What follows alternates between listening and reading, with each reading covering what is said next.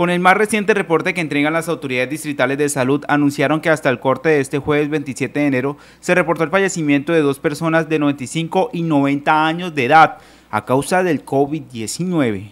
Asimismo, se notificaron 94 casos positivos con coronavirus en Barranca Bermeja, situación que preocupa a las autoridades por el alto contagio de los ciudadanos. En unidades de cuidados intensivos se reportan 20 pacientes, en los centros de salud 61 y en casa 1.566 personas aliviándose para un total en el distrito de 1.647 personas activas con coronavirus en el distrito de Barranca Bermeja. Las recomendaciones del personal de salud es mantener el autocuidado con los protocolos de bioseguridad, el lavado continuo de las manos y el uso correcto del tapabocas, asistir a la jornada de vacunación y mantener el distanciamiento social en sitios de aglomeración.